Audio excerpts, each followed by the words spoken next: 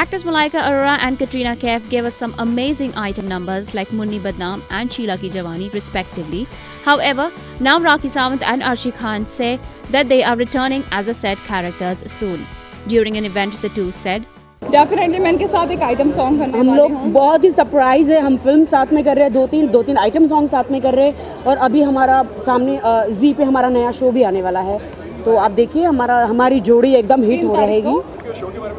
ये शीला और मुन्नी की जोड़ी है मुन्नी और शीला मैं शीला हूँ ये मुन्नी है ये मुन्नी बदनाम है शीला जवान है ऑलरेडी डिसाइडेड है बता तो दिया